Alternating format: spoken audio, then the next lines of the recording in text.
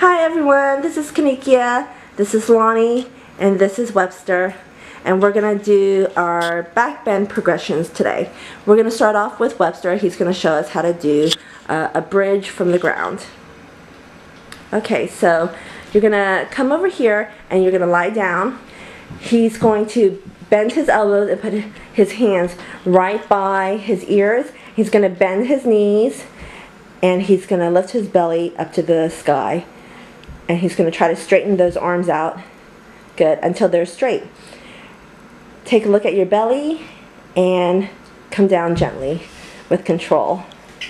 Good job. Okay we're going to do a back bend progression.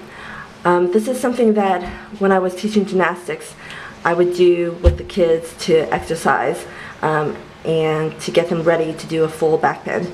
So bring your arms up and you're gonna um, slowly arch the upper back until the hands touch. And we're gonna just stay here for a second. Take five deep breaths. Try not to sink into your lower back. So press your hips forward. Press your hips forward, Lonnie. Yes. And hold that position. And we're stretching the whole time. We're never static or try not to sink into your lower back. Try to stretch the chest. Okay, now push the wall away and come up with control. Good. Okay, we're to go on to the next progression. Okay, she's to lift her arms up. And we're to get back into that same position.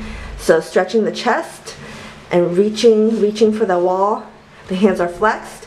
Now she's going to walk her hands down the wall until she can no longer walk her hands down and hold that position there.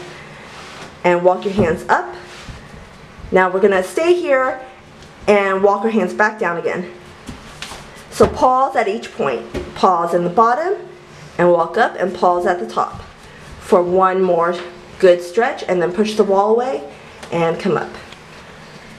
Good job. That was really intense for the back, so raise your arms up.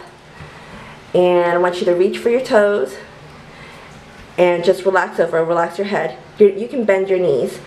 So it's all about relaxing and um, letting your lower back and your back stretch, curve over the other way. Okay, to um, get some more strength in your arms, you also need arms for your back bends. You're gonna, we're gonna do handstand progressions the opposite way. So reach your arms out and put them in front of the wall. And we're just gonna walk our feet up to the L position. Okay.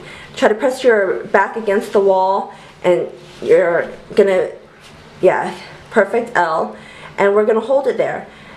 You never hold your breath. You're always keeping your arms straight and you're pushing your head away from the wall, away from the floor. One, two, three, four. Walking your feet down with control, landing on your feet, pushing the ground away and standing up on your feet. Good job.